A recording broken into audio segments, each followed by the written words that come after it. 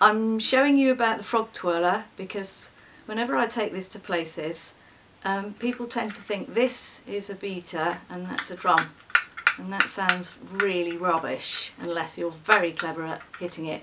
The way to play this frog twirler um, to make the best sound, apart from twirling it around, which I won't do, there's another video that shows that, is to pull this frog twirler a bit taut and then twist the stick.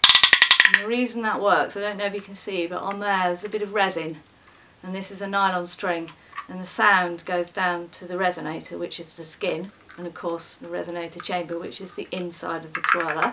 So you can do some really interesting sounds.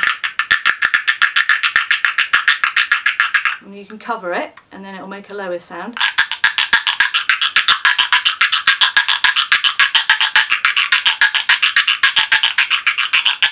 And you might think a two or three year old may not be able to do this and you're right, some of them can't but quite a lot of them can.